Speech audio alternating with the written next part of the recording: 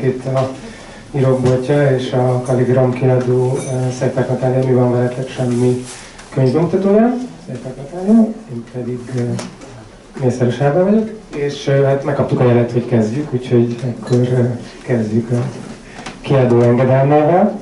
Um, ja, azt feltételezzük, és az majd lehet, hogy majd megdől így közben, de hogy ja, eltelt majdnem most már négy hónap a könyv megjelenése és a, a bemutató között, hogy viszonylag elég sokan olvashatták, vagy olvasták a könyvet, úgyhogy lehet, hogy majd így egy-két ilyen poént ezt le fogunk lőni. De, és akkor fogunk beszélni ugye erről a könyvről, már kicsit a Natinak a pályafutásáról. És ugye az első kérdés az, az ugye adja magát, hogy ugye téged azért ismernek a láz kapcsán, vagy az altatószerek kapcsán, de most erről a könyvről, ami van veletek, semmiről, a, kicsit a létrejöttéről, hogyha tudnál beszélni. Én is sok szeretettel köszöntök mindenkit. Ez működik, lehet engem hallani? Működik. Köszönöm. Szóval a létrejöttéről. Tulajdonképpen itt olyan figurák és történések, történetek mm, gyűltek össze ebben a regényben, amelyek már elég régóta megvoltak, tehát van köztük elég sok olyan, ami még az alkatószerekről születése vagy kigondolása előtt, vagy azzal párhuzamosan megvolt. Ilyen töredékekről beszélek most. Tehát akár csak ekkora szövegek, mint a könyv hátoldalán olvasható szöveg, nem ez konkrétan, hanem ilyen terjedelmű szövegek, mondások, szituációs ilyen vázlatok voltak a, a, a számítógépemen, és amikor a, az altatószerekről írtam, akkor összekapcsolódott nagyon sok ponton annak a világával ez, ami itt ilyen töredékben már megvolt. És kicsit ilyen viccesen hangzik, de az van, hogy én ezekkel nem akartam most tanában foglalkozni, félre voltak téve, és egy másik, pontosabban két másik témával kapcsolatban kutattam, meg kezdtem vázlatokat és írni,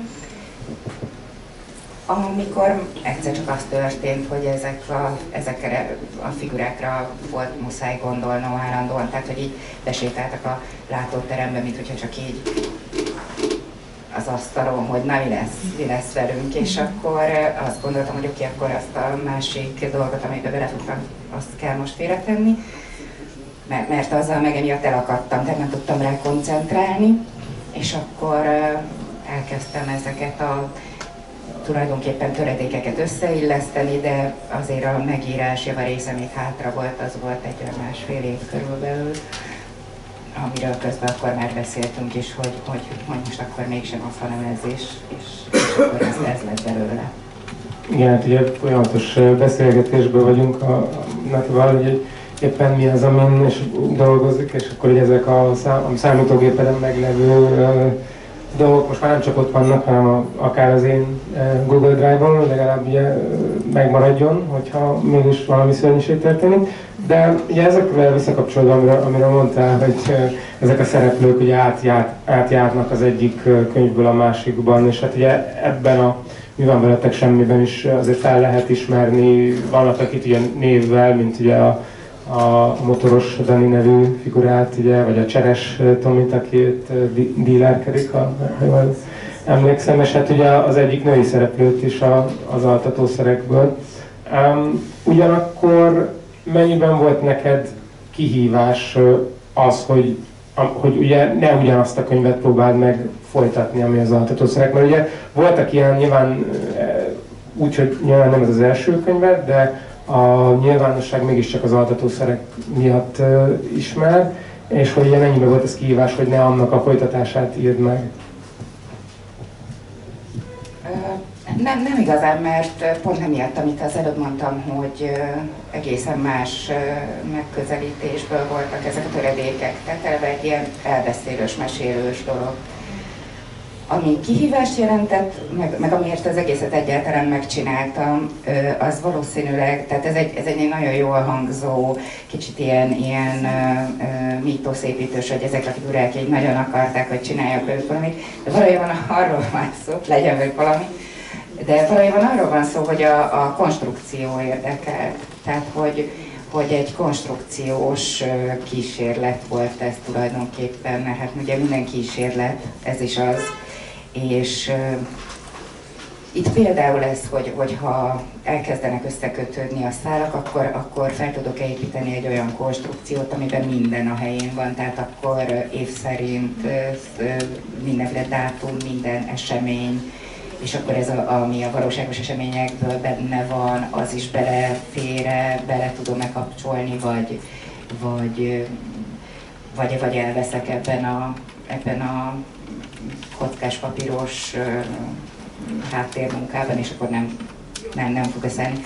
Tehát maga a konstrukció érdekelt, meg az, az a forma, hogy, hogy így mesélve tudok-e valamit, tehát ez a mesélősebb, szerintem ez egy mesélősebb az előzőhöz képest, tehát ez a két dolog foglalkoztatott igazán, de mondom elsősorban ez a konstrukciós kérdés, ez ilyen becsípődés nálam. Igen, ugye én, nekem az tűnt fel így sokadik olvasásra, hogy a flashbackek, ugye, ami, ami azért e, sokkal, nem azt mondom, hogy nincsenek jelen az átadó de itt, itt sokkal erőteljesebben részei a könyvek, illetve ilyen kulcs momentumai, mind Grafitnak és Póknak, ugye a két főszereplőnek. Mind a kettőnek van egy elég erős, azt mondom, az egyik egy telefonhívás váltja ki, vagy annak az elodázása váltja ki, a másikat pedig ugye egy nézés, amit ugye megtalál ez a főszereplő, és hogy igazából ez, ez, ez számomra valamennyire új volt. A másik dolog, amit ugye mondtál, hogy a, ahogy így beleszövődnek a valós életnek a dolgai, tehát ugye itt, a, ugye itt időrendileg a West Balkán tragédia, ugye a Vörösi Szap, és azt hiszem, hogy van egy robbantás, és ugye ez a, ez a Lehelcéri bankrobbantás, igen, ez a, ez a három, ami, amiről ugye szó van, és ezt úgy oldottad meg, hogy egy kocsmában nagyon organikusan jönnek ezek a dolgok, ami egyébként nyilván feltetőleg kocsmákban szerte Magyarországon és hogy a világon, hogyha amennyiben nem váltotta azt fel most már Facebook vagy valami, hogy az emberek ugye ülnek és beszélgetnek ezekről, és így hozzászólnak. És miért jött ez a, ez a kocsma ötlet, vagy, vagy miért, onnan jött ez a kocsmai közegnek az ötlete, és ugye miért Mexikó? Ez sok kérdés egy egyszerre. A, a miért Mexikót, azt nem tudom megválaszolni most így hirtelen. A, a kocsma ötlete, hát egyrészt nyilván onnan, hogy magam is ültem elég sokat kocsmában már életemben, és nagyon sok jó dolog történt velem ott, és nagyon sok jó emberrel ismerkedtem már meg kocsmákban, és szerintem az egyik legjobb dolog, ami az emberrel történt, hogyha lesz egy törzs helye, ahova, oda szokik, és, és, és, és ahol lehet beszélgetni tényleg. Tehát eh, nagyjából ez indokolja azt, hogy, hogy a kocsma, ami egyébként meg egy kicsit ilyen elhasznált dolog, tehát ezt így gondoltam, hogy Szóval, szóval gondolkodtam rajta, hogy, hogy nem biztos, hogy kocsmának kellene lenni, de egyszerűen találtam jobb ö, ö, ilyen közösségi helyet, ami, amiben bele rakhatom az összes saját közvetett vagy közvetlen sztorimat. Igen, és hát ugye az az érdekes, hogy kvázi a végére, hogy mind a ketten a, mondjuk így az informatikában, hogyha ilyen nagyon tárt fogalmat használhatok a két szereplő, abban a körben dolgoznak, és ugye azon kívül ugye be lehetett volna ezt rakni egy, nem tudom, egy Facebookra, vagy, vagy akár, de nyilván ezt kicsit nehezebb azért még megírni, mint egy ilyen kocsmát, és hát ugye a kocsmának ezek a, ezek a szereplői, akik ilyen nagyon beszédes, nyilván karikaturisztikus nevei vannak, hogy ugye Leveles Laci és Non-Stop Sanyi és Jägermeister, és ugye ezek a ilyen állandó eposzi jelzőik és jellegzetességeik. Ezek úgy honnan jöttek, vagy, vagy ezek egy valós figurák vagy csak úgy kocsmákban összeszedett tapasztalatok? Hát inkább összeszedett és, és sok valódi figurából állnak, tehát hogy egyenként is több, több általam ismert emberből jönnek létre ezek a figurák. a váz az mindenkinél valami olyan, ami nyilván nekem az életből megvan, tehát vagy én ismerem személyesen, vagy, vagy gyakran látok valakit, és elképzelem a viselkedése alapján a személyiségét. Tehát, hogy van egy ilyen váz, mint egy drótváz, amire aztán így rátapasztgatja az ember a, a, a többit. Mm, mi, mi volt az ennek a keresnek? Hogy... hogy, hogy honnan jöttek ezek a nevek, de... Honnan a nevek? Uh, az valami, tehát hogy vannak valami, ennek valamilyen szignifikáns? Azt hiszem, hogy a Jégermister az onnan, hogy az, az tömegközlekedésen szedtem össze, hogy valaki így hallottam, hogy mondott. És nem is biztos, hogy ezt mondta, de én így hallottam, és gondoltam, hogy ez nagyon jó név valakinek, aki mindig Jégert iszik a kocsmában. És, és akkor így lett. Leveles Aci az adta magát ugye a dal miatt. Mm, a, hát akinek non-stop boltja van, az ő, ő megkapja ezt a jelzőt, hogy non-stop, és kicsit tényleg ilyen, ő mondjuk egy nagyon picikét szerepel, de, de tényleg egy ilyen lendületes, mint hogy folyamatosan pörögni, úgyhogy még így élik is rá, de ez tulajdonképpen véletlen. Tehát csak olyan, olyan elnevezések, amilyeneket úgy az emberek általában szoktak adni a kocsmába, ilyen félig barátoknak, vagy ilyen, hát hogy amiről így beazonosítják egymást. Igen, és ugye számomra volt egy ilyen kicsit ilyen mitikus jelentőség, egy ilyen közösségformáló jelentőség ennek a kocsmának, és ami, amiről egyébként ugye szól is a, a könyv már az, az én olvasatomban, hogy ugye ezek, a, ezek az emberek, akik úgy tengődnek a világban, vagy úgy ugye nincs velük éppen semmi, így összejönnek, de hogy, de hogy ebből ugye van valami fajta ilyen kiút, és ugye ebből a kiút ez a, ez a közösség, ahol, ahol ilyen nagyon emberi dolgok történnek, ami, amik ugye egyszerre kicsit ilyen karikaturisztikusak, de ugyanakkor nagyon sok mélysége van a, a történeteknek, tehát pont szerintem a, a számomra a legmegrázóbb része az a, az a leveles lacis történet, akiről ugye meg tudjuk, hogy hogy kapja ezt a nevét, meg hogy mi ez a tragédiája és deficitje. És hogy igazából ez, ez, ez a kérdés ennek, hogy ugye a társadalmi részében ugye tele van ezekkel az emberekkel, akik, akik aztán megtalálnak valamiféle közösséget, és ugye ebben élik, ugye ebben találják meg magukat, vagy, vagy hogy... Mert hogy, mert igazából ugye, mert ugye folyamatosan vannak ezek a kérdések, ugye a, a, akár a szülők, vagy akár a, az elbeszélők elmondásában ugye van az a nagyon gyakori, hogy 30-es, 40-es hazamegy akár Budapestről vidékre, vagy akár máshol, és akkor ugye el kell mondani, hogy mit csinál a Gabika meg a Petike. De hogy uh, nyilván ez egy ilyen kam, vagy egy ilyen szép ilyen uh, narratíva, vagy amit ugye felépítenek, és ugye közben nyilván nem mondja el, hogy a kocsmában tölti, de hogy közben ott is egy ilyen világot épít magának. Mert a kocsmában. Igen, igen. igen. Igen, szerintem ez egy jelenség, hogyha megnéz. Ugye a kocsmában az az érdekes, itt a Mexikó nevű kocsmában, meg számos általam is ismert kocsmában, hogy, hogy így a generációk keverednek. Tehát, hogy lehet, hogy, hogy ez abból a szempontból generációs szöveg, hogy azért a két fő figura az, az egykorú, és, és most a 30-as éveik közepén járnak, mármint a végére, közepen vagy második fele. A kocsmában viszont egészen nagy szórás van, tehát vannak már a fiatalabbak is, és bőven vannak idősebbek, és tulajdonképpen ez kicsit ilyen, mint amikor átadják a stafétát, tehát hogy, hogy ők oda járnak már nagyon régóta, és akkor odaszoknak a fiatalabbak is, ugye például a kocsmáros nőnek a lánya, aki meg egészen fiatal, lehet ő ott dolgozik, és, és akkor így valahogy így generáció mint hogyha megörökölnék ezt a pozíciót, hogy kocsmába kell járni, vagy ezt a szerepet, de a, a mit is akartam ezzel kapcsolatban még mondani, hogy, hogy a helyszínnek tulajdonképpen abból a szempontból van szerintem szerepe, hogy, hogy vagy, vagy olyasmi szerepe is van egy kicsit, mint valami családpótlék. Tehát, hogy itt valahogy mindenkinek vagy csonka a családja, vagy mondjuk idős házaspár egyik fele, és hát nem annyira sok időt töltenek együtt, tehát hogy a napi rutinjába beleépül az, hogy ő megjelenik a kocsmába, mit ten délután négykor, és minden nap ott van. Mm, tehát, hogy egy ilyen rendszerességet is ad egy csomó ember életének, tehát ilyesmire gondolok itt a családi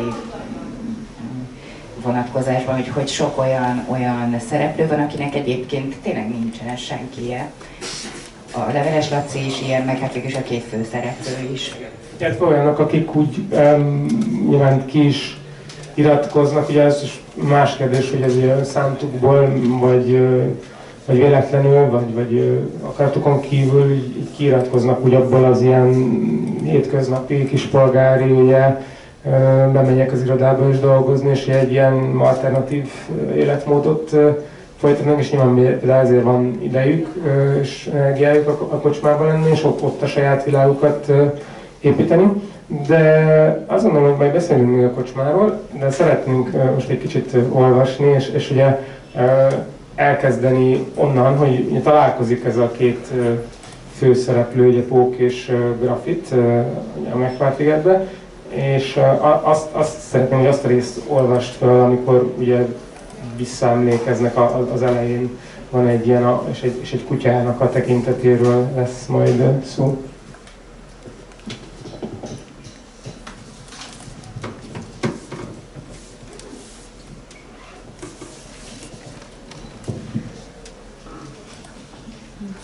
Pók tekintete annak a kutyának a tekintetére emlékeztette, amelyikkel gyerekkorában a kertek alatt szokott találkozni. A legszélső kerítés nélküli házak egyikéből szögdösött el, állítólag egyszer megharapta a gazdáját, az meg agyon akarta ütni. Vagy azért harapta meg, mert agyon akarta ütni, ezt nem tudni pontosan. Minden esetre nem volt hozzá elég szufla az emberben, talán részeg volt, valószínűleg részeg volt, akkor szökött el először a kutya de aztán akkor is, később is mindig hazament. Otthon a kerítés nélküli házak lakói jóformán mindig részegek voltak, de ez grafitnak akkor nem tűnt fel, csak most, ahogy visszaemlékszik rájuk, most tudja beazonosítani a mozgásaikat, szavaikat, most tudja, hogy mind, a nénik és a bácsik is folyamatosan részegek voltak. Most tűnnek csak fel a gyerek magasságból látható hálós szatyrokban cipelt literes boros üvegek, a folyamatosan koccanó hangok a nagy közértben, ha az anyja leszarajtotta tíz a parizerért, meg egy liter zacskós tejért. Ahogy ott álltak, vele együtt a sorban azok az emberek, akikről akkor is tudta volna, hogy az erdő melletti legutolsó utcában, a kerítés nélküli házakban laknak, amíg sosem látta volna őket. Őrizték a kosaraikat, szorongatták a műanyag kosárfüleket, kivéve a horgolcsapkás Manci néni, ő a saját fonat használta, csak feltette a pénztárhoz, minek venne el ezért külön egy másikat, annak a két üvegnek teljesen fölösleges.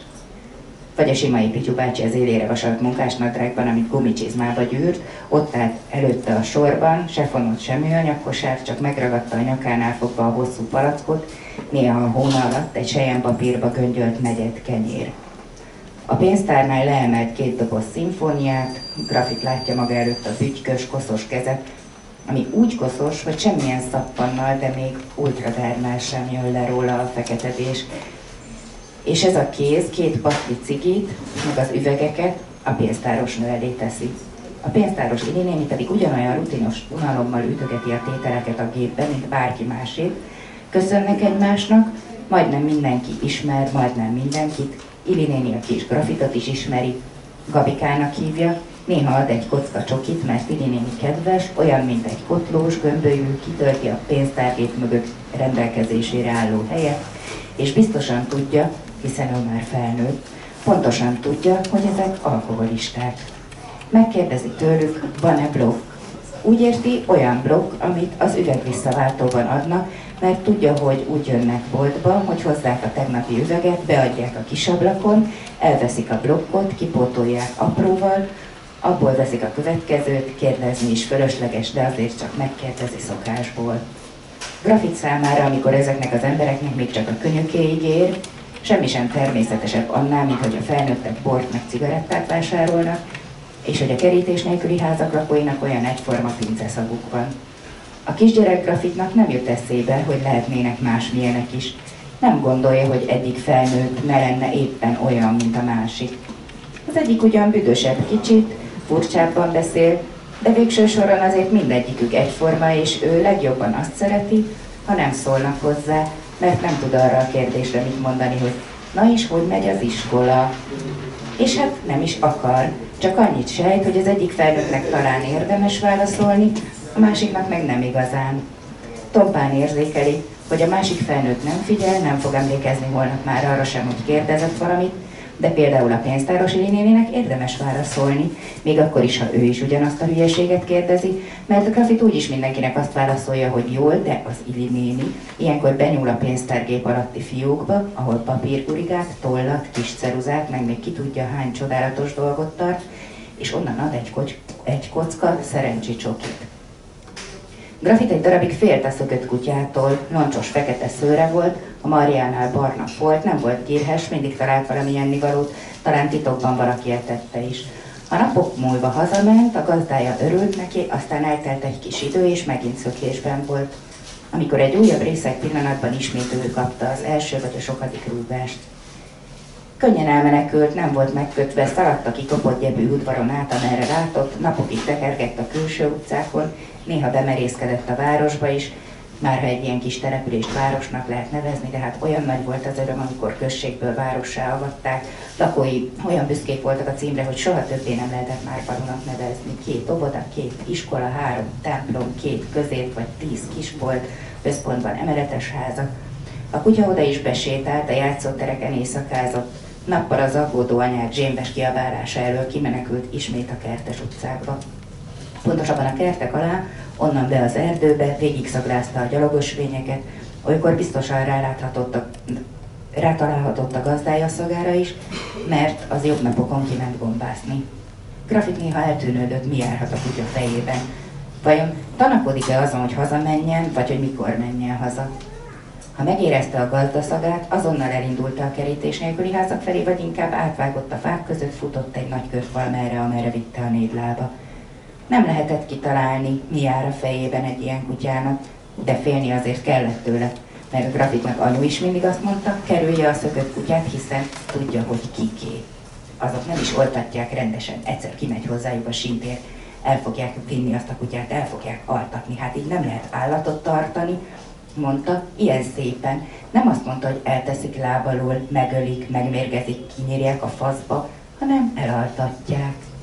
Grafit akkor nem értette ezt, vagyis mint a gyerekek általában úgy hitte érti. Azt jelenti, hogy jó helyre viszik a kutyát, kellemes, barátságos helyre, ahol majd nyugodtan alhat. És csak egy kicsit zavarta az a sötét árnyalat, ami az anyja hangjában bujkált, amikor ezt mondta. Zavarta, de nem vett róla tudomást. Elaltatni valakit szép dolog, őt is milyen sokszor altatta el anyu. Ült az ágy szélén és mesélt.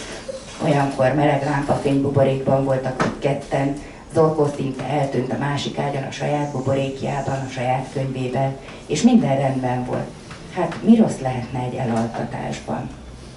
Egy nap nagyot került, már nem volt olyan kisfiú, elengedték egy-két barátjához egyedül is, csak hogy nem volt kedve a barátáihoz, egyszerűen kint akart lenni. Tette egy nagy kört a kertek alatt az erdő felé. Azt tervezte, hogy utána bekopog a Horváth Marcihoz, hogy majd otthon azt mondhassa náluk volt, és akkor pont szembe jött a kutya. Már nem lehetett megszégyenülés nélkül visszafordulni, pedig valószínűleg nem látta senki. Mégis az ember nem csak akkor akar bátornak tűnni, ha látják. Az is eszébe jutott, hogy a kutya előtt, ahogy a kutya előtt sem kéne gyávának tűnni. Főleg, hogy ez egy ijesztő dög, mindenki tudja, szidja, szidják a gazdáját, és veszélyes, úgyhogy nem is szabad csak úgy hátat fordítani neki. Hátat fordítani neki. Biztos, hogy nem tanácsos az ilyesmi. Apu erdészvadászos könyvében is az van, hogy csak hátat ne fordítsunk az állatoknak, abból mindig baj van.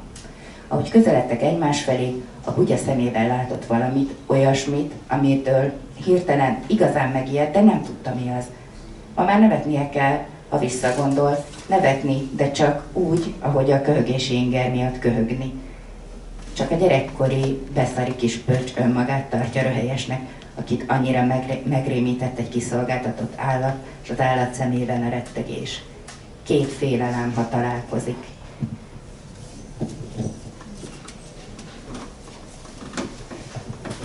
Ja, most nyilván a, arra a kérdésre, hogy miért ö, mennek kocsmába és miért vesznek kocsmát, ez lehet, hogy ez, ebből az részből egy kicsit jobban kiderült. Ugye nyilván valaki ebben, ebben nő fel, ugye csendes magyar adottnak vett szocializmusban mindenki alkoholista vidéken, ugye szerintem az elég sok mindenkivel megkötő, és, és ne, tehát, hogy ne legyünk előítések, nyilván Buda, Budapesten is, tehát máshol is. De a, ugye, és ugye jönnek ezek a sablon kérdések, ami, ami, ami ugye szintén, amire folyamatosan ezek a főszereplők egyrészt ugye tudják a választ, de ugye tudják, hogy ezek a válaszok ezek ügyesek, és ugye van ez a, hogy megy az iskola, vagy mi van Petikén, vagy, vagy, vagy Gabikám. És igazából ugye ez, az a, ez a rész, ahol, ahol ugye van ez a tehát ugye meg volt már a találkozás a két főszereplő között, és ugye itt összekötöd ezzel, hogy, hogy ezt a, ezt a rémületet a, meglátja a kutya szemében, és ezt nagyon, nagyon szép megtalálom, ahogy, ahogy ez így meg, megoldódik szerkezetileg. Um, arra akarok rákérdezni, hogy beszélgettünk uh, többször is erről, hogy uh, neked a szerkezet fontossága és, a, és az időnek a, a szerepe ebben a, ebben a könyvben, mondjuk a többiekhez képest, hogy, hogy szerinted ez így miben más? Melyik többiekhez? Hát a, a, a, tehát mondjuk az artatószerekhez képest, mert ugye itt, itt ugye nyilván van egy csomó visszatekintés, de ugye vannak ugyanígy ezek a ilyen kifeszített pillanatok, vagy ugyanúgy, hogy visszanézünk, és akkor megnézzük a, a gyerekkorát, hogy, hogy neked ez e, ennek az időnek, a, mi, mi az időnek a szubjektivitása, vagy az időnek a, a, a nem a kereséssel, hanem, hanem inkább annak a szerepe. Meg hogy honnan van nekem ez a... E, igen, hogy ez honnan, ez miért fontos számodra, igen. Igen, tehát hogy van ez a, ez a közhelyes mondás. Ezt én mindig másik híres író nevével látom idézetként a Facebookon, hogy semmi sem határoz meg annyira egy embert, mint az első könyv, ami, ami egyszer megragadta igazán ez a lényege, nem, nem pontosan így van az idézet, és tényleg nem tudom, hogy kitől származik. És én ezt egyébként nem feltétlenül tartom igaznak, de, de írás szempontjából nagyon is. Tehát, hogy az első olyan, ami így beakad, hogy, hogy, hogy, hogy, hogy szeretnék ezzel valamit én kezdeni. Tehát nem, nem elég, hogy elolvastam és kaptam tőle valamit, hanem hogy, hanem hogy ezzel nekem van valami dolgom, ezzel foglalkozni szeretnék ezt szeretném részletesebben látni, többet akarok tudni róla, hogy hogy csinált valaki valamit, és nekem ilyen volt, amit 16 éves koromban olvastam a, az Alexandriai négyest, és ez volt ilyen a szerkezete szempontjából. Tudom, hogy sokan túlértékelt kisnek gondolják, én nem, de, de azt is meg tudom érteni, de nem, nem emiatt olyan fontos, nem a története miatt olyan fontos nekem ez a könyv, hanem a szerkezete miatt.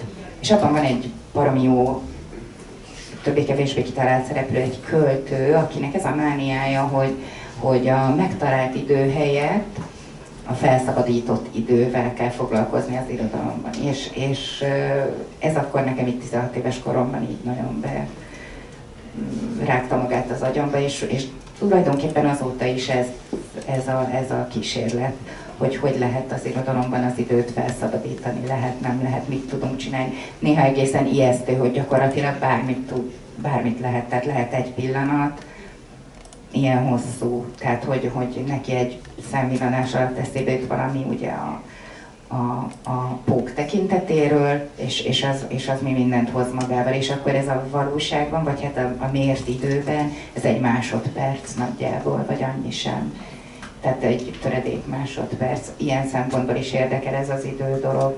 Más szempontból is, de, de ez, a, ez a játék vele, és hogy hogy tudjuk forgatni, hogy ugyanabban az idő pillanatban mennyire szubjektíven élni, meg ugyanazt az időszakot vagy pillanatot bár mindenki. Ez, ez még a másik ilyen érdekes dolog nekem, és ezzel szeretek szórakozni. És ugye szereplőknek is van egy ilyen időfelfogása, legalábbis én olvasatomban, tehát akik egyrészt azzal sokat játszol, hogy mikor derülnek ki a egymás előtti dolgaik ugye a, a vége felé, amikor elkezdenek együtt hát nem éppen legális dolgokkal foglalkozni, és azt hiszem, hogy az, az körülbelül ugye a 200. oldalnál van, amikor ez ilyen explicitté válik, hogy ez végül is micsoda, hogy addig ilyen utalások mennek rá. És onnantól kezdve ugye kevés is van vissza a könyvből, meg ugye sok minden történik, de ott, ott, ott azt mondom, hogy nagyon ilyen monotonon leírod, amit úgy csinálnak, mert és nyilván azért, mert maga, maga a munka is monoton, hogy megfigyelnek embereket, és egyébként meg viszik körbe a különféle elosztani való drogokat és, és, és anyagokat. Hogy, hogy akkor az is egy ilyen szándékos dolog volt, hogy, hogy ezt így, így érzékeltetni, vagy, vagy nem részletesebben, vagy... Igen, az abszolút. Tehát, hogy amikor úgy tűnik, hogy több minden történik velük, akkor azt ők maguk is úgy élik meg, hogy, hogy hosszabb idő. És ez, ez általában így van, tehát a szubjektív időérzékelésünk az így működik, hogy amikor sok minden történik velünk, amikor, akkor, akkor idő, tehát a történés közben lehet, hogy azt érezzük pont, hogy semmire sincs időnk, de közben, ha visszanézünk rá, azt látjuk, hogy úristen, mennyi minden volt, milyen hosszú volt mondjuk ez a nap, ha, ha csak egy napot veszünk, amikor sok dolgunk van, és mindent elintézünk, és csomó helyre megyünk, és akkor a nap végén úgy érezzük, hogy ez hosszabb nap volt, mint a többi, ez másmilyen volt de hogyha mindig ugyanaz történik velünk, szinte semmi, minden nap, akkor, akkor valahogy egyszer csak felgyorsul az idő, és pillanatok alatt eltelnek napok, és, és nem is érezzük ezt a, ezt ugyanannyi időnek, mint amikor sok minden történik. És nagyjából ez van, a, ez van itt szerkezetileg így kipróbálva, hogy, hogy amikor még csak megismerkednek egymással, mindkettőjük számára új a szituáció egymással kapcsolatban is, meg a, a Mexikó is új például ugye a grafitnak, és egy csomó minden, és aztán belesodródik ebbe a helyzetbe, hogy, hogy elfogadja ezt a nem egészen legális tevékenységet. Addig azért elég sok minden történik mind a kettejükkel, meg hát van idő azt is ugye megmutatni, amik, amikről itt beszéltünk, ezekről a visszacsatolásokról, vagy ilyen visszaemlékezésekről. És akkor, amikor kialakul ez az életük, amiben már együtt dolgoznak, akkor pedig már csak egy rutin lesz a, a, az élet, meg a mindennapok is, és akkor felgyorsul, és arról nincs, nem, nem is nagyon lehet megmondani, persze lehetne egy, e, ezt úgy is, hogy nagyon sokszor elmondani ugyanazt, hogy és ma is ez történt, és ma is ez történt, az is egy érdekes megoldás lenne. Egyébként én most ezt választottam. Igen, és ugye ahogy találkoznak, kicsit ilyen párhuzamosan tudunk róluk meg egyre többet, tehát ugye ugyanúgy a hazamenétel, ugye egyik őknek vidékre, és kiderül, másiknak csak a kék oroszlán patika, vagy mi az, ami a közelben van, tehát ez viszonylag, bár, bár ezt így nem tudtam beazonosítani, de, de biztos létezik. E, akkor nem létezik, jó, akkor, de hogy, de hogy tehát ugye ezekről aztán megtudunk a, a gyerekkorukról, ugye, hogy hogyan és ezek ilyen nagyon ilyen, um, egyrészt ilyen szubjektív dolgok, másrészt meg kicsit ilyen generációs dolgok, tehát ugye ezek a, ezek a, meg, meg egyébként ilyen nagyon emberi dolgok, tehát ahogy, ahogy, ahogy úgymond beállva és igazából azt, azt veszem ki belőlük, hogy, hogy valahogy ugye nem tudnak beilleszkedni úgymond a, abba, amilyen normál vagy hétköznapi társadalomba, aminek ugye megvannak ezek a kamaszkori dolgai, és akkor ugye ezeket el, elmesél, nagyon, nagyon jó ilyen képekkel, és, és ugye vannak ezek a, hogy miért hagyják békén, mert ugye a belügyminisztériumban dolgozik, ugye a másik pedig ilyen számítógépes részre, tehát, hogy, mindig, mindig valahogy kicsit ilyen, neked ilyen különcök, mint hogyha így egymásra kellene, hogy találjanak végül, és ugye egymásra is találnak, de hogy ez, ez, ez mennyire szerinted ilyen elkerülhetetlen ez a találkozás? Abszolút elkerülhető lett volna, ha valamelyikük később hoz az ebrához, szóval ez nem, nem, nem én nem látok ebben semmi sorszerűt. Az, hogy aztán tudnak együtt lakni például, tehát tök jó békén hagyják egymást, mert, mert hasonló a személyiségük, az, az, az már sokkal inkább ennek köszönhető. Tehát, hogy a, a találkozás az, az egyetlen nem az egy véletlenszerű dolog. Nem, mert uh, ugye arra, ugye vannak ezek az ilyen, tehát ami, ami, amik ilyen nagyon ilyen kulturális uh, utalások a, a szövegben, tehát hogy azt hiszem az ilyen magazinban van egy poszter, vagy, vagy valami ilyesmi, amit ugye ezzel lehet így uh, datálni, meg ugye a, a zenei uh, beszólás, tehát a kiszólások, beszólások, ugye Bon Jovi van, vagy aztán később Metallica, tehát amik, amik nyilván ugye annak a, annak a generációnak, aki ugye a szereplők, illetve vagy te vagy én, ugye viszonylag azoknak ugye nagyon sok mindent jelentenek, és ugye ezért is találnak valamennyire ők, ők egybe. azt akartam még ugye megkezdeni, hogy, hogy ugye a, a kapcsolatok, mert ugye mind a ketten végül is ugye ilyen, ugye ez egyikük egy, egy kapcsolatból jön ki, tehát ugye a, a és, és, és ugye a, a másikoknak is, is van egy, vagy volt egy ilyen kapcsolata, amiről, amiről majd beszélnek, de közben valahogy kicsit így, így, így úgy érzi az ember, hogy, hogy, hogy nekik ilyen egyedül kell, kell valahogy élni, és ugye nyilván így tudnak együtt is élni. És majd, majd erről fogsz majd felolvasni a, a, a, a az egyik barátnőről, vagy akiből ugye, lett valami, vagy, vagy, vagy ugye, milyen modell lett. De um, igazából erre akarok így, így rákérdezni, hogy, hogy nekik akkor végül is ez, ez a kocsma, vagy ez az együttlét, ez ilyen, ez ilyen szükségszerű, vagy, vagy ugye, nyilván tehát azt mondtad most az előbb, hogy, hogy nem, tehát hogy el, el, elkerülték volna egymást, de úgy. Az, hogy együtt maradnak, az, az mindenképpen szükségszerű, tehát szerintem az a, az a személyiségükből következik, mert valóban, tehát úgy is mondhatnánk, hogy magának való mindegyik valami miatt.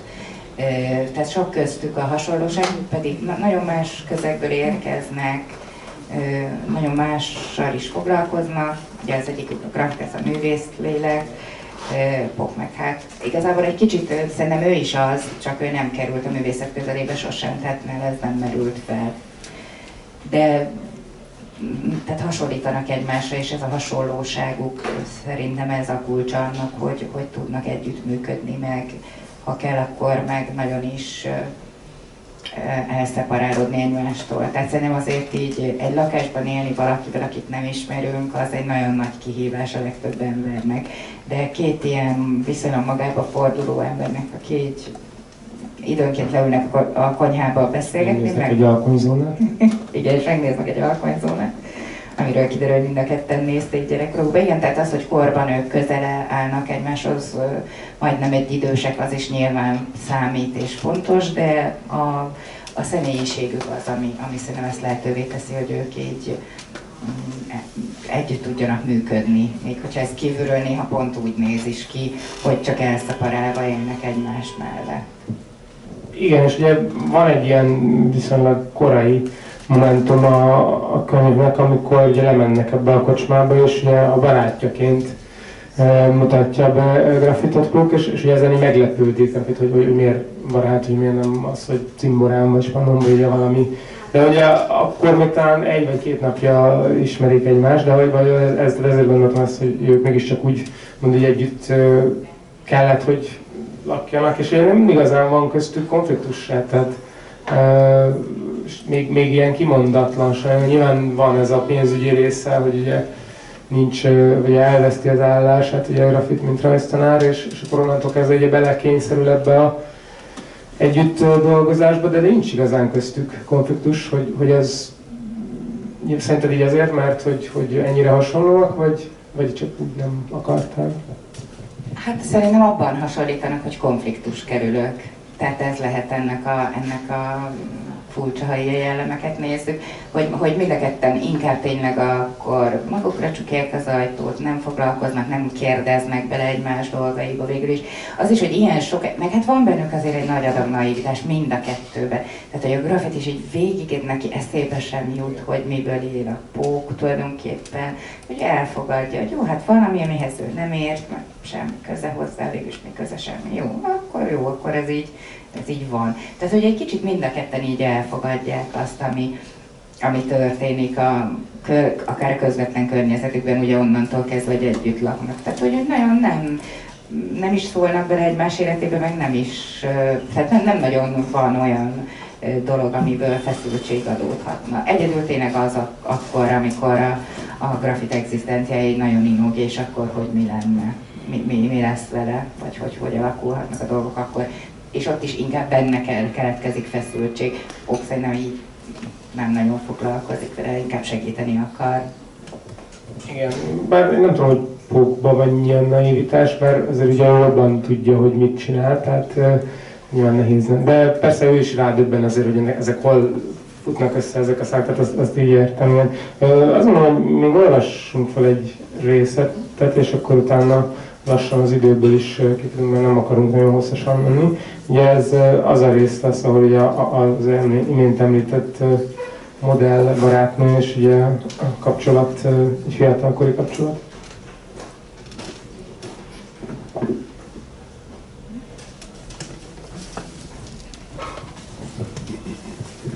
Előző éjjel felriadt a közös ágyban, itt, ebben a hálószoba kezdeményben, ezen a matracon, amin most a barátja aludt. De a kedvéért szinte teljesen lejött a fűről, alig ivott, nem járt le minden nap a Mexikóba, nem bódította magát semmivel, büszke volt rá belül, titokban, mintha küldetést teljesítene, érezte, érezni akarta közvetlenül az életét. Akkor az utolsó éjszakájukon, amikor még nem tudta, hogy ez az utolsó, csak a szíve dübörgését hallotta, azt is csak úgy, mint egy távoli robajt, a teste anyagtalanná vált és idegenné, egy percig nem tudta, hol van. Égő hideg jelezte a teste középpontját, de nem tudott rá koncentrálni, mert a falak vakító feketéje elveszejtette a térérzékelését. Azt, hogy merre van az ablak, hol szivárog be a sötétítő mellett a fény, csak érezte, de nem látta. Beát és magát mégis látta, anélkül, hogy érezte volna, és ez rémítette meg igazán. Tudta, hogy egy ágyban fekszenek, de a testüket mint két idegent nézte valahonnan a plafon magasságából. Pontosan látta magát, amint félig felülve, kisé oldalra görnyedve nézi a másikat ott a sötétben, ahol ők maguk valamiféle fényt bocsátanak ki, derengő fényt, éppen csak annyit, amennyitől láthatóak lesznek, de körülöttük nincs semmi, minden fekete, sőt annál is rosszabb, és ez a másik test az övé mellett, ismeretlen, félelmetes, idegen. Ki ez, akarta kérdezni, de nem mozd, de mozdulatlanságra tároztatta a szoba, mint egy vákumdoboz, amelyben nem lehet levegőt venni. Minden mozdulat fáj annak a lenti testnek, amelyiket valamiképpen mégis a sajátjaként azonosít. A halálfélelem robbantotta be a dobhártyáját. Erre végre megmozdult, Elérte a földön tekergőző lámpazsinort, és kétségbe esetten kitapogatta rajta a kis billenő kapcsolót. Az egyetlen szilárd tárgy a szobában. Minden más szétfoszló, légnemű vagy olyan, mint megvakulni. Ha nagyon erősen odanéz, nem lát semmit, még a feketeséget sem. A heréi úgy húzottak fel, mint gyerekkorában, ha tudta, hogy jön a fájdalom. A lámpa gyenge fényében kapkodba vette az első lélegzetet. A gyomra tüzes, égő göbb volt, a nyelve a szájpadlására tapadt, jeges veríték ült a homlokán, a tarkóján, bevonta a hátát. Amennyire halkan csak tudott, kikecmergett az ágyból, a padlón térdelve visszafordult, arra a megnyugtató látványra vágyott, hogy ott fekszik a barátnője, békésen alszik, de amint oda nézett, egy dermesztő másodpercig úgy tűnt, mintha csak az üres helye volna ott, a paplon csalóka emberformájúra gyűrődve. Azután egy pillanatnyi megnyugvás, amikor káprázatban kivehetővé vált a lány alkarja, amint átfogja a paplan, azután újra, újra egy nyilallás, újra csak a kérdés, hogy te jó ég, ki ez? Mit keresek itt? Csak annyi volt bizonyos, hogy ki kell mennie innen. Amikor behúzta maga mögött az ajtót, tudta, hogy többé nem lesz képes visszamenni a szobába. Ezt nem lehetett elmesélni senkinek. És most, hogy pár másodperc alatt elemi erővel felidéződött benne az az éjszaka, a haja töve is izzadni kezdett, még most sem tudta volna szavakba önteni, mi volt ez az egész. Még akkor sem, ha látott rá egy halvány esélyt, hogy grafit valamit megértene belőle. Inkább megpróbálta, megpróbálta körül, körülírni, miért is lett vége. Azt hiszem, valami többnek akart látni, mondta, és igaznak is gondolta, úgy éreztem most, hogy meg kell fogalmaznia, ő maga is jobban látja, mi történt, és most jön rá valamire. Nem vagyok egy nagy menő srác, de ő ezt szerette volna. A nagy hacker vagyok, vagy ilyesmi. Tudod, a legtöbb embernek van valami homályos elképzelése arról, ha valaki programozó, és azt hiszem neki is ez lehetett a fejében, hogy mindent fel tudok törni, hogy mindenhez értek, amiben processzor van, meg egyáltalán mindenhez, ami árammal működik. Lehet, hogy nem is tudtam, mi az a processzor. Azt akarta valahogy, nem tudom máshogy mondani, hogy több legyek. De hát én a HTML-nél rámta az egészre, csak a papírért csináltam meg egy tanfolyamot, és most sem pontosan programírással foglalkozom. De mondok egy tipikusat beáról.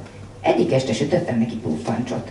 Ezt az egyfajta édességet ette meg. Fagyasztva lehet kapni zacskóban zsírszegény cukornak, és mit tudom én. Néha vettem és megsütöttem neki. Valamin veszekedtünk, de nem komolyan, és az egyik, képsoroz, az egyik képsorozatáról volt szó. Én azt mondtam, hogy nekem nem tetszik, hogy annyira bevilágították az arcát, hogy nem is lehet felismerni. Tudod csak, a két szem meg a száj, az egész arc szinte eltűnik. te biztosodod, hogy csinálják ezeket a képeket, meg persze, hogy a magazinok is ilyenekkel vannak tele, de nekem valahogy nem tetszik. Ő meg teljesen oda volt, hogy milyen jól néz ki rajtuk. Aztán bocsánatot kértem, nem győztem mondani, hogy nagyon jól néz ki rajtuk. Magyarázni, hogy nem azt mondtam, hogy ő nem tetszik, hanem az eljárás, amivel elváltoztatták. Aztán azt magyaráztam, hogy nem, nem változtatták el annyira, én pont ilyen szépnek látom, sőt szebbnek. Aztán előszedtem a puffancsokat, hogy megsüssem neki, és ahogy pakoltam a tepsire, bambultam, mire megkérdezte, hogy mire gondolok. Ez volt a mániája. Mire gondolsz most? Mondom, arra, hogy ezeknek valami új minőségbiztosítási rendszerük lehet, mert tudod, addig az volt, hogy minden második, harmadik puffancsból félig kint volt a töltelék, akkor meg úgy láttam egyikből se lóg ki. Tényleg ezen gondolkodtam, de először csak röhögött, aztán meg teljesen kiakadt, hogy az nem lehet, hogy amikor éppen az ő karrierjéről van szó, meg arról, hogy milyennek látom, és ő már azon rágódik, hogy még szeretem-e egyáltalán, szóval a közös életünk forog kockán, akkor én a kurva puffancsok minőségbiztosításán gondolkozzak. Hát, hogy ilyen nincs. Nem is tudom, azt én is úgy éreztem hirtelen, hogy ilyen nincs, biztos valami máson gondolkodtam, csak kamúzni akartam, de mondd hogy kamúzna ilyet valaki, aki nem tényleg éppen ezen gondolkodik. Őszintén szólva, rohadtul nem érdekeltek azok a fényképek, csak mondani akartam róluk valamit. Nem tudom, lehet, hogy provokálni akartam, de a franc gondolta, hogy ez ekkora drámába fog fordulni. Szóval álltam a konyhában, és nem értettem az egészet és akkor már tényleg úgy voltam vele, hogy nem is tudom, mi érdekelem engem ebben a lányban. És azt hiszem, már mint most, így utólag hiszem ezt, hogy valószínűleg én is valami többnek akartam őt látni. Nem olyan egyszerű az egész, mint ahogy elmondom, érted? Aha, mondta Grafit. Tudom, soha nem olyan egyszerű. Igen, és ugye belerésztetből is az jön le nekem, amit ugye beszéltünk, hogy nem igazán tudják nyelvileg kifejezni magukat, és ugye ezek a kapcsolat és a konfliktus kerülések sokszor ugye, abból is vannak a, a konfliktusok, hogy nem tudjuk normálisan nincsenek hozzá a szavak, nincsenek meg az a, azok a nyelvek, vagy, vagy a saját érzéseik, és nyilván ez, a, ez az a generáció is, ami, ami ugye nem tudja úgy magát kifejezni, mert, mert nyilván ezeket a hétköznapi ilyen közhelyes kérdéseket, vagy azokat ugye hülyeségnek látja, illetve azokat, amik régebbi válaszok voltak, amik nyilván a szülei generációjának, azok meg ilyen negédes, vagy ilyen szocialista, vagy illetve azt is ilyen, azt is ilyen hamisnak érzik, de ugye ilyen introvertált személyiségek így próbálják, és akkor ugye vagy ez van, hogy átmegy ilyen csontőszintébe, amiből általában ezek nem szoktak jól kisülni, ugye a grafitnek, és ugye mégis ilyen szabad szerintem elég hasonló pártválasz, ugye akiből keveset látunk az Annit, ezt hiszem. És, és hogy nem, tehát hogy valahogy szükségszerűen ők, ők, ők nem, tehát hogy ugye, mind a ketten így eléggé, tehát hogy eléggé lúzerek ahhoz, hogy így egyedül maradjanak a szó ebben, de meg viszont azért nem annyira, hogy senki szóban álljon velük, mert ugye többet, ugye többet akarnak beléjük látni mindenhonnan, és ugye akár a szüleik, és ugye ez, ez sok mindenkire igaz persze, és ugye van ez a, ez a nagyzolás, hogy akkor ő a Pesten tanít, akkor ő pedig egy szoftvercégnél dolgozik, és ugye ezek a nyelvi ilyen árulások, amik, amik ugye sok mindenkiről benne vannak, hogy, hogy ahogy beszélnek az emberek magukról, vagy, vagy ahogy ugye két mondatban le lehet valakit írni, és nagyon érdekes, hogy, hogy ők, ők ugye próbálnak ezzel mit kezdeni, csak valahogy nincs hozzá így nyelvük, vagy nincs hozzá ilyen kifejező készségük. E, és így néha, ahogy így szerintem ez egy ilyen jó, olyan plastikus kép, ahogy ő mesél magáról, kicsit akkor neki e, lejönnek ezek a dolgok, hogy hát mégis igen, e, de hogy az olvasónak is valahogy így, így jön le akár, akár saját magáról is és hogy ebből az ugye kevés van benne, mert, mert ugye akkor nem feltétlenül így tartanának ezek a szereplők. Igen, és hát ahogy egymással tudnak beszélni, abban, abban néha, néha úgy rátalálnak arra, hogy, hogy mit is akarnak mondani. Valószínűleg ez is annak köszönhető, hogy hasonlítanak egymáshoz, és, és így az évek során azért csak-csak beszélgetnek, beszélgetnek, és megismerik egymás kifejezéseit, meg eszközeit a, és, és persze közben meg mindig azért isznak, meg szóval hogy, hogy, hogy csak akkor tudnak olyan jókat beszélgetni egymással, amikor valami, valami valami tudatmódosító azért van, tehát csak úgy maguktól hétköznap józanul nem nem beszélgetnek, azt hiszem egyszer se, nem szólnak Nyilván nem véletlenül, tehát ugye ez megint egy ilyen szocializációs valami ugye Magyarországon, vagy hát ilyen nagyon sok helyen, tehát ugye ez egy elég alap dolog, hogy a férfiak, hogyha egymásról úgymond őszintén beszélnek, az hogy történik meg. Jó, igazából szerintem több olyan kérdésem nem nagyon van, meg nem akarunk túl sokáig elhúzni, úgyhogy köszönöm szépen mindenkinek, és Szejfet Natáliának, és Ja, mi van veletek, semmiről beszélgettünk, és hát majd további könyvek és további írások jönnek. Ugye most, amit legutóbb láttunk tőled, az a, itt egy feltűnő szereplő a Sőt Karcsi, aki, akiről most jelent meg egy, egy írásod a, a Dunsteskán, és hát dolgozol még, mint, még, még vele még lesz valami, úgyhogy, úgyhogy vele lesz valami, velünk most már semmi. Köszönjük szépen!